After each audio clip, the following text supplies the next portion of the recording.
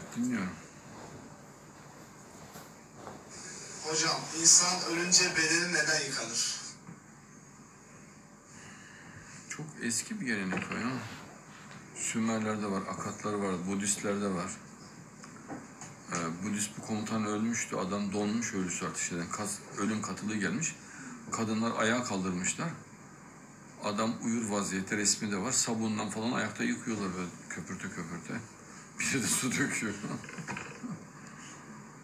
yani eğer adam cünüpse yani abdesti yoksa, boy abdesti yoksa ha boy abdesti var. Ölünün boy abdesti olmaz normalde. Ama ben saygı duyuyorum yani yapıyorsalar. Bir şey demem. Ama Kur'an'da ben öyle bir şeye rastlamadım.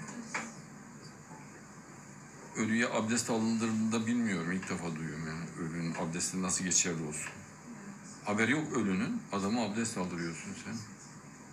Ve nereden biliyorsun abdestsiz olduğunu? Bir de ölünün abdesti nasıl geçerli oluyor onu da bilmiyorum. Ama saygı duyuyorum. Yani bana bile de acayip geliyor bilmiyorum. Bana tarif eder anlatırlarsa anlarım.